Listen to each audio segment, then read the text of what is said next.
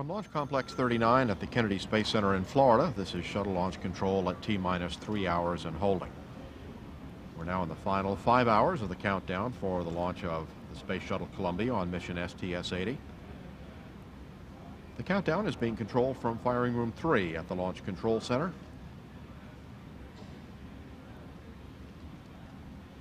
And we're on schedule for a liftoff at 2.53 p.m. Eastern Time this afternoon. This is the 21st flight for Space Shuttle Columbia and the 80th mission of the Space Shuttle program since launches began in April 1981, 15 years ago. There are three objectives of the STS-80 mission. To deploy the ORFEUS-SPAS satellite holding a complement of ultraviolet telescopes to study the lifestyle of stars and galaxies. And to deploy the Wake Shield facility to grow thin substrate films for high-speed electronic chips and advanced electronic components. The mission duration for STS-80 is planned as 15 days, 16 hours, 44 minutes. And Columbia will be in a, be in a 219 statute mile high circular orbit. Assuming on-time launch today, the landing is planned to occur at the Kennedy Space Center on the morning of December 5th at approximately 7.37 a.m. In the astronaut quarters, the five-member flight crew of Columbia are just now being awakened. And in approximately a half hour, they will be entering the dining room for breakfast. Afterward, they will have a weather briefing and receive a status on the countdown activity. They will then go to the suit-up room and don their flight suits, and at about 11.38 this morning, depart for the 20-minute ride out to Launch Pad 39B at the edge of the Atlantic Ocean.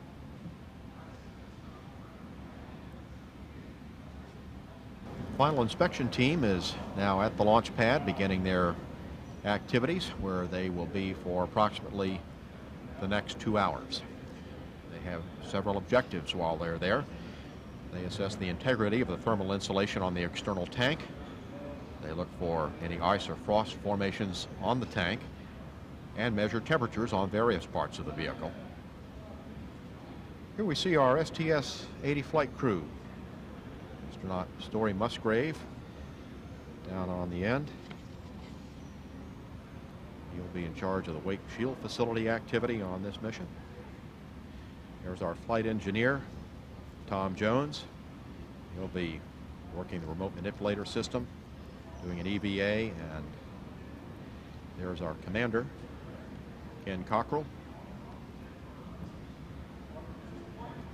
There is mission specialist Tamara Jernigan, lead on our ORFEUS-SPAS, and will be doing one of the crew spacewalks.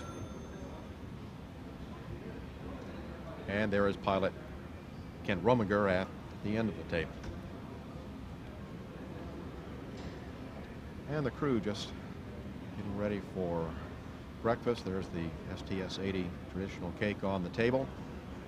And when breakfast is over, they'll head down to suit up and head out for the launch pad, which is just about an hour away at this time.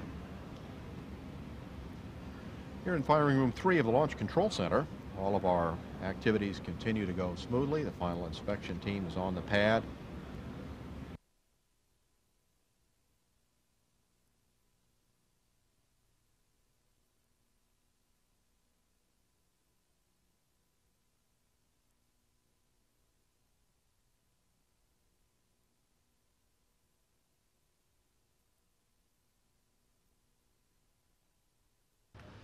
This is shuttle launch control at T minus three hours and holding, where we're in the suit up room and we see our commander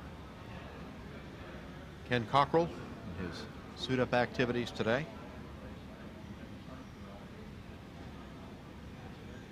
Ken originally from Austin, Texas.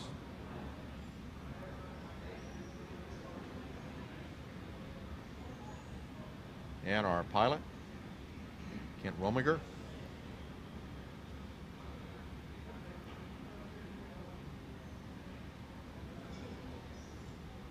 Mission Specialist Dr. Tammy Jernigan will be one of our EVA astronauts on this mission.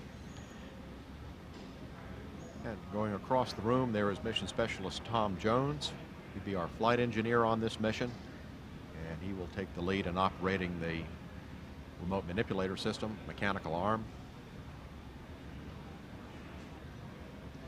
And there is Story Musgrave making his sixth flight into space, tying the record along with veteran astronaut John Young.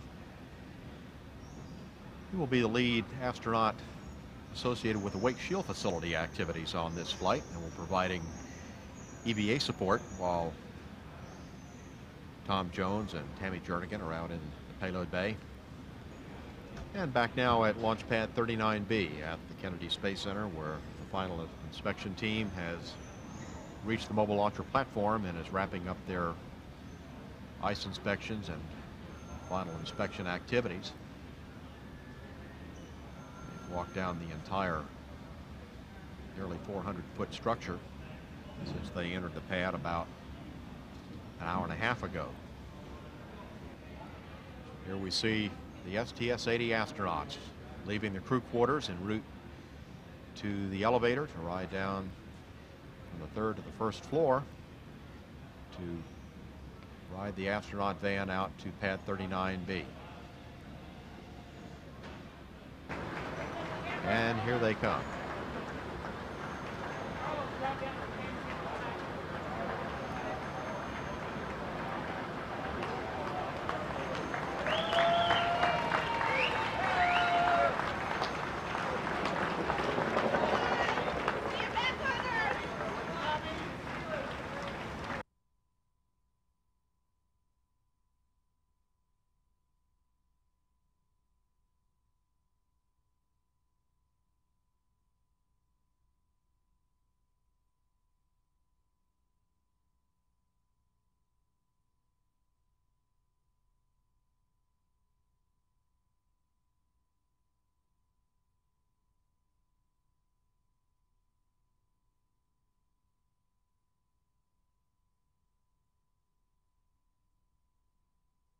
where we see our commander Ken Cockrell in the white up white room being helped by the suit technicians prepare for entry into the crew module.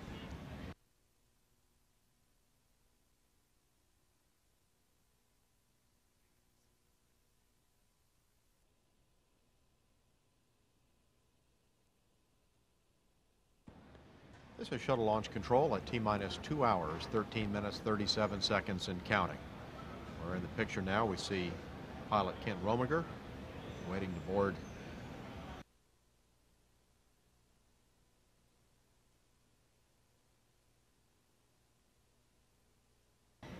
and mission specialist Dr. Tammy Jernigan about to be assisted with her launch and entry suit. She will be one of the two astronauts, along with Tom Jones, that will be doing an EVA on this flight, designed to evaluate, evaluate equipment and procedures for building the International Space Station. And same TC, that's 555 and 556 are complete. Copy.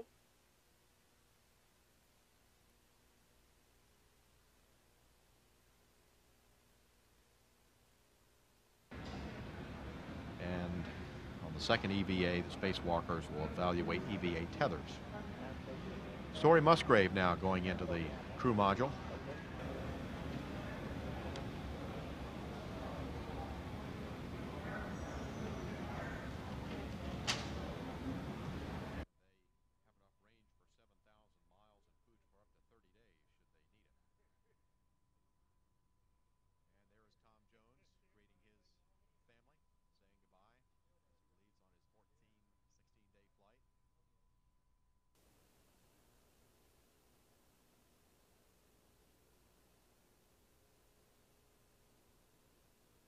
CCSE and RCRT OTC on 212. CCC. RCRT.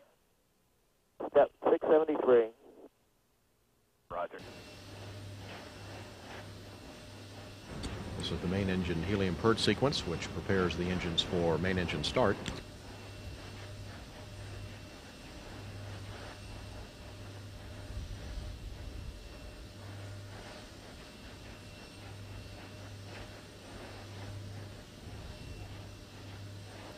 The main Engines now being gimbaled as a steering check for Columbia.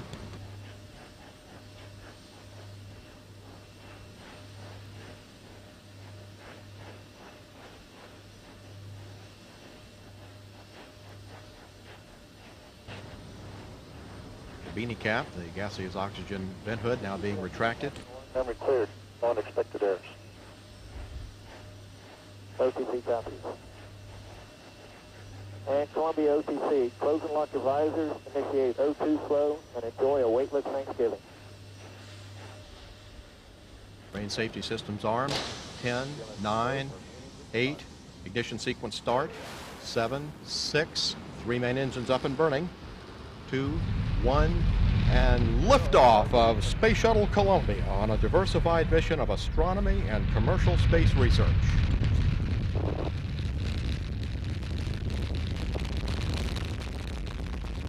Houston, Columbia, roll program.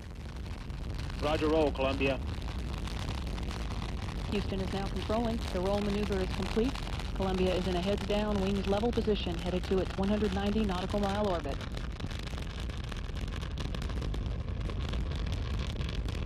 Twenty-eight seconds into the flight, Columbia's engines are now beginning to throttle down to 67% of rated thrust as the orbiter passes through the area of maximum aerodynamic pressure on the vehicle in the lower regions of the Earth's atmosphere.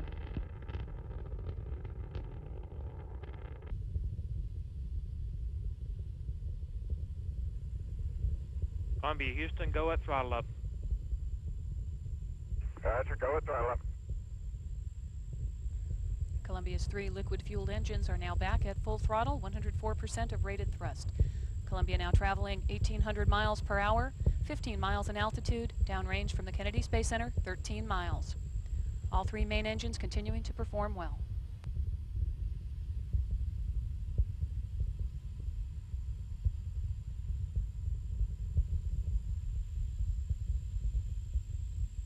The next event will be the burnout and separation of Columbia's twin solid rocket boosters.